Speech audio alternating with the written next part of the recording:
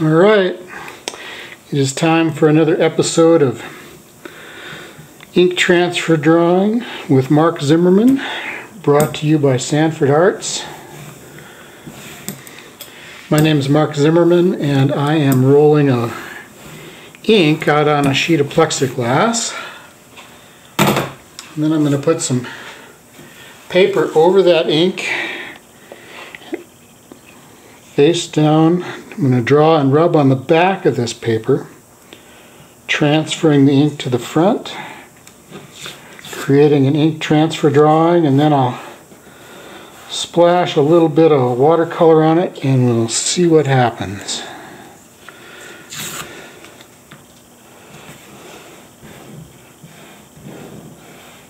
First thing I want to know is where the ink is and I've got it inside a a rectangle of tape. And if I can find that corner, then I can drag this pen along the edge of that tape. It tells me where I need to do my drawing. Also gives me a nice border when I'm all done. Okay.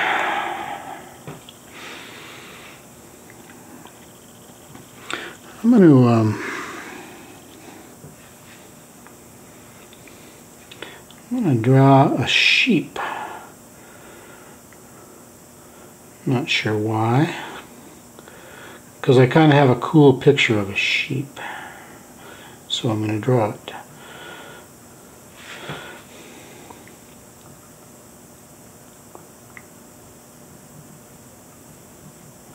Working on its eye right here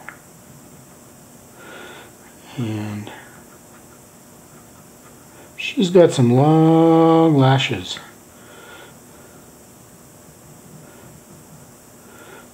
And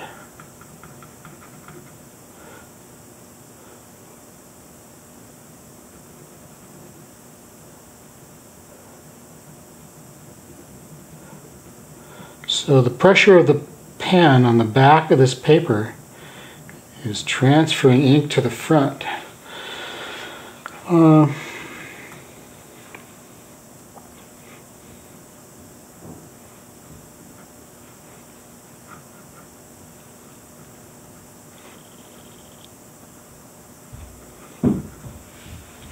lighter pressure transfers less ink. More pressure, of course, transfers more ink. So I'm going to come way down over here and draw her nose. I want to make sure I get it in here, so I'm going to jump over here and put it in. Uh, what?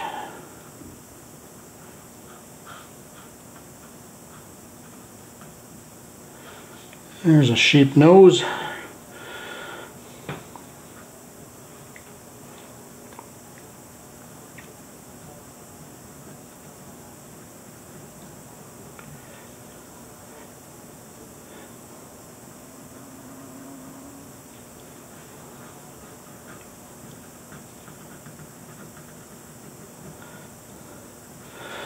Sheep top lip.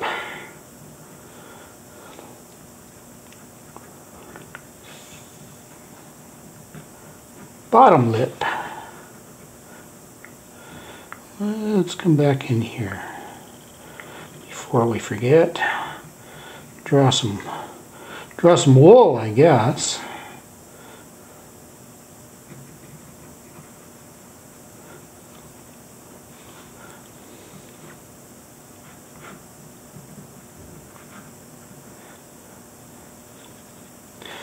I'm to transfer ink by just touching something too. Um,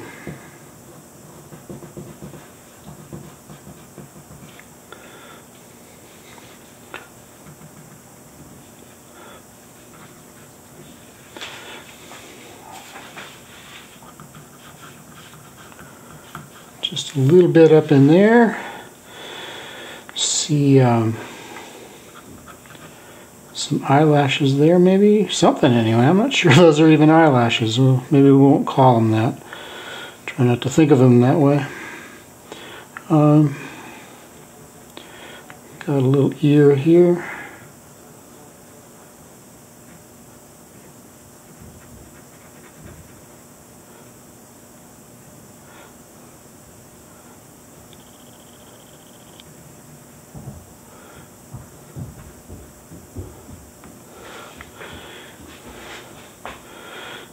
And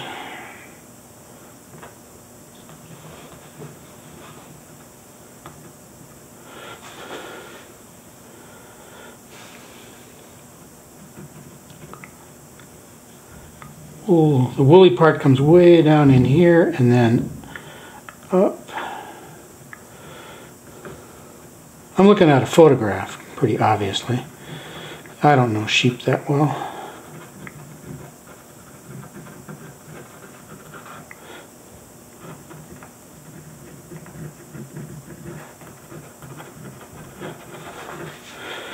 Woolly. Little woolly.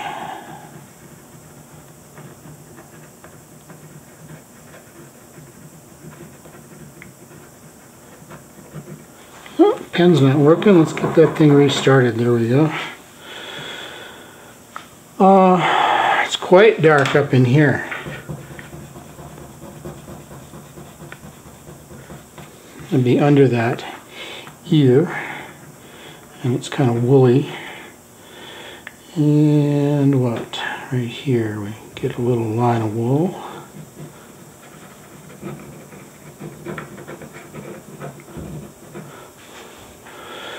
And better not forget this. What are we about right here?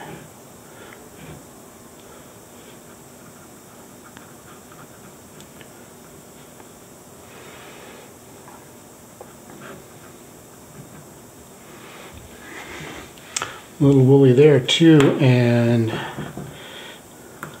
shadowy. And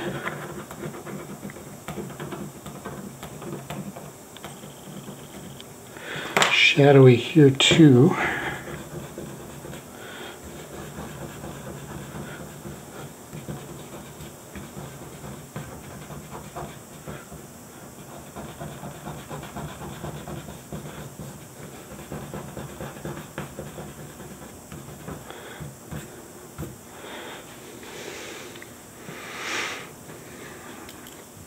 Somehow it looks a little, there we go. That looks better. Um, I think I want to divide this space up into um,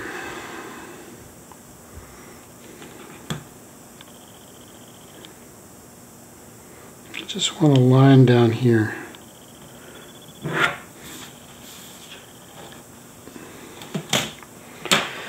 And We'll come back in here behind the sheep.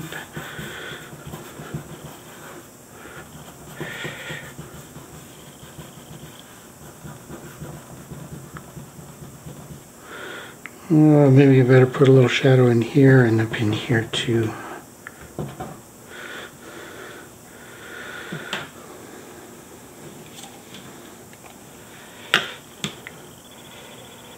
Let's just keep doing that line.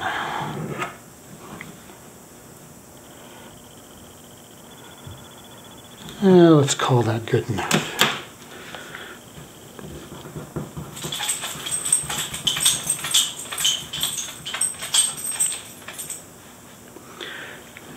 And let's make it really dark down in here.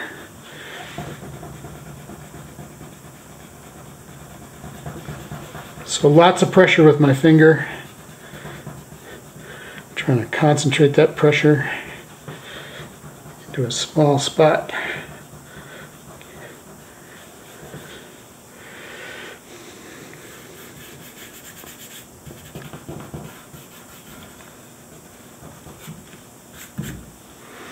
Let's see what we got. Got because you never really know what goes on underneath that paper.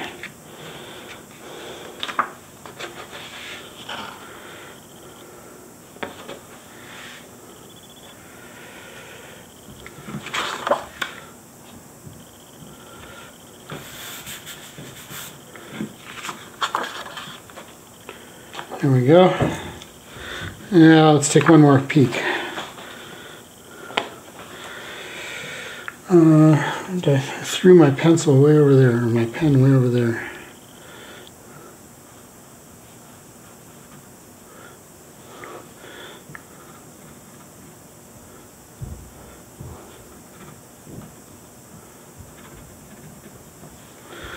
There we go. I think that should do it.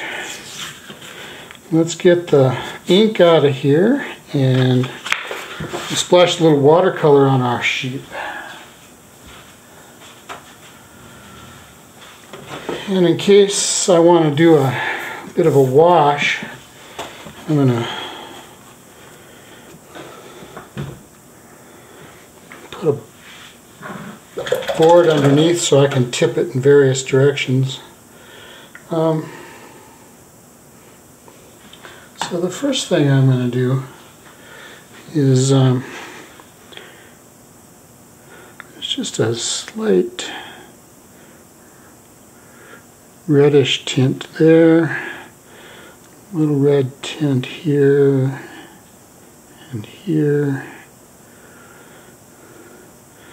little red tint here. Tint, I keep saying tint, and um, tint is just a light color, usually a color plus white. But in watercolor, there's no white, or at least not in my palette, and um, so it's really just transparent, watery paint that lets the paper show through and so the paper provides the white.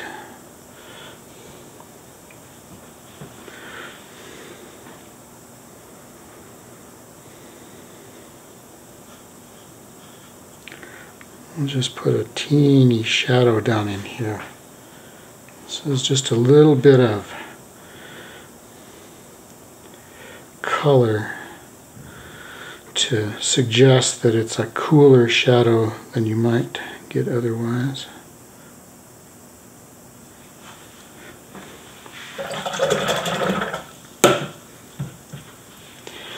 And then I think we come back with an earth tone, but I think I'm going to change my mind about which earth tone. I'm going to go for the raw umber here. And oh, that's way too dark, Mark.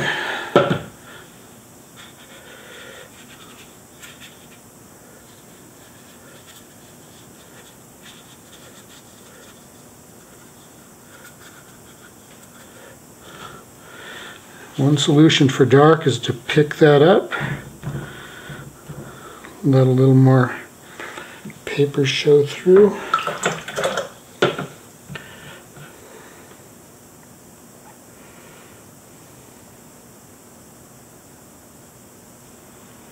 Hmm.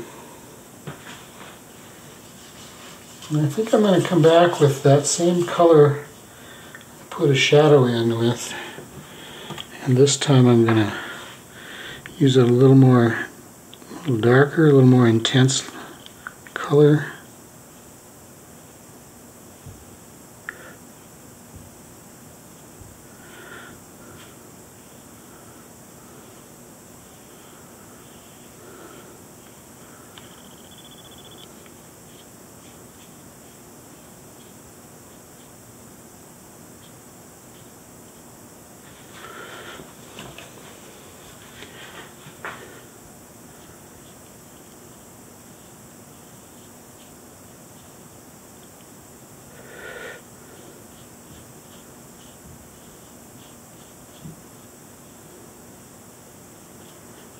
So I'm using gravity now to help me move this paint down the down the paper.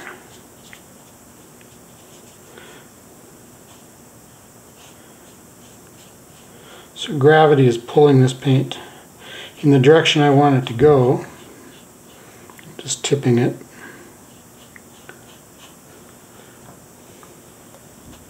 Whoa, and dripping in just the right spot. Did you see that? That happened pretty fast.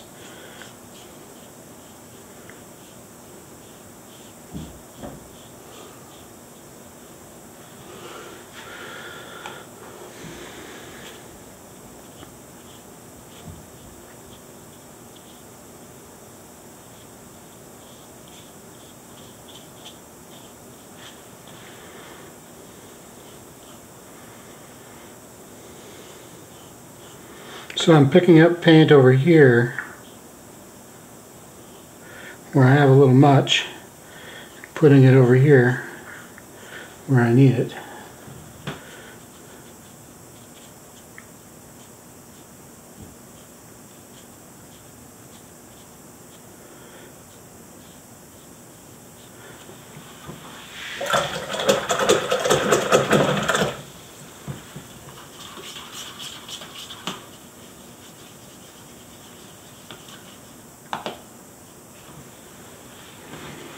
Um, I'll take a different color here.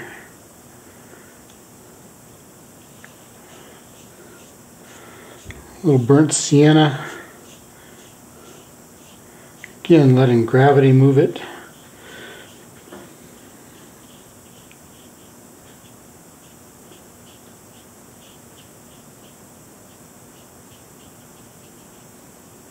Kind of want that to bleed in there, so I just touched that blue a little bit. Um, rinse that a little bit and come back with just a little little more of that brown in here too.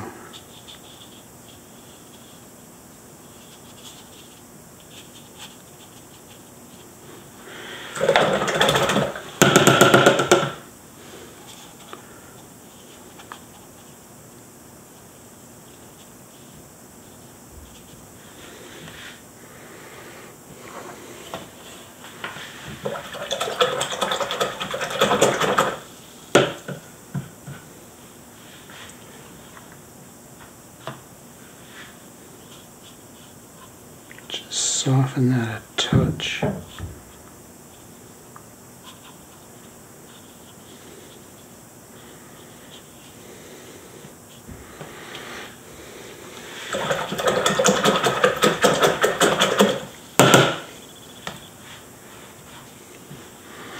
And I think we'll just, we'll sign them in pencil. So I'm just going to call it